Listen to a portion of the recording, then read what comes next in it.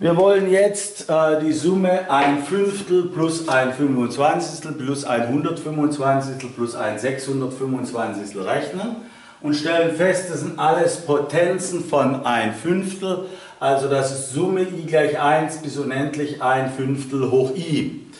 Was ist denn das Problem bei dieser Summe oder bei dieser unendlichen Summe? Unendliche Summen nennt man Reihen. Äh, was ist das Problem bei dieser Reihe bezogen auf die geometrische Reihe?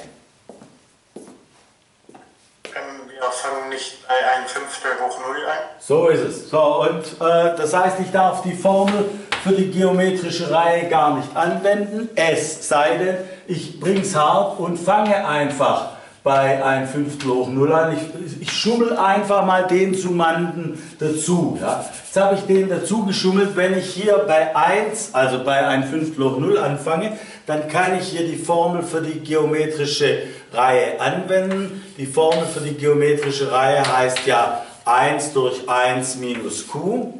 So, und jetzt ist die Frage, was ist in unserem Falle q?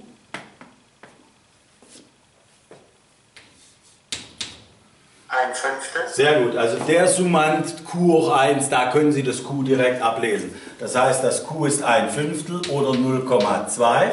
Und das heißt, Sie können jetzt die Formel direkt anwenden. 1 minus ein Fünftel oder 1 minus 0,2. Das ist also 1 durch 0,8 und 1 durch 0,8 ist 5 Viertel oder 1,25.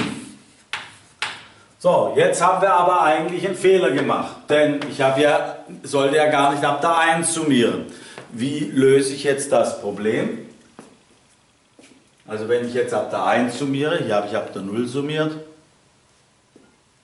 Ich könnte die 1 wieder abziehen. Völlig richtig, ja. Also das heißt, wir rechnen das zunächst, als wäre es die Summe, die bei der 0 anfängt.